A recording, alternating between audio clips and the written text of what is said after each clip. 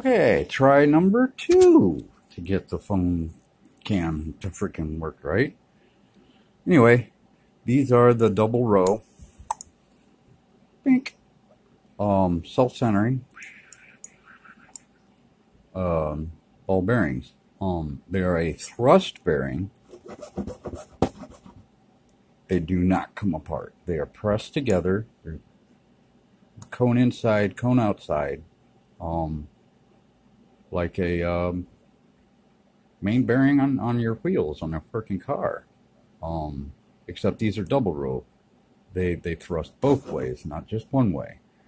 Um, they are very, very, very low drag. Um, this one, this one's not really oil. I popped it apart to show somebody else. Um, popped the shields off, so all the oil that, which is transmission fluid, um, pretty much poured out. Um, this is a rotor I was using for my original lathe. Um, this one with the shields on still has five degrees of misalignment possibility, but it lets this float. And unlike a magnetic bearing, which has to be spinning in order to work, um, otherwise a, a magnetic bearing will lock and you have to put, you have to mechanically spin it to get it started going or it's just going to grind. Um, because the magnets will touch each other, they'll settle on each in, in a co-phase alignment. Um, whereas this, I can, if I had a hand free, I could I could set this to a spin and it would just sit there and spin. Um, so something to check out.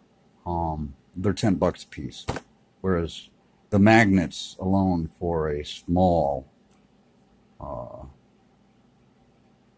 bearing housing, if you do aluminum casting to do it right, never and and by the way, never cast, never subject a neodyne magnet to more than 200 degrees Fahrenheit. It goes null. Just saying. It's a very delicate crystal inside the chrome plating. Um, but uh, yeah.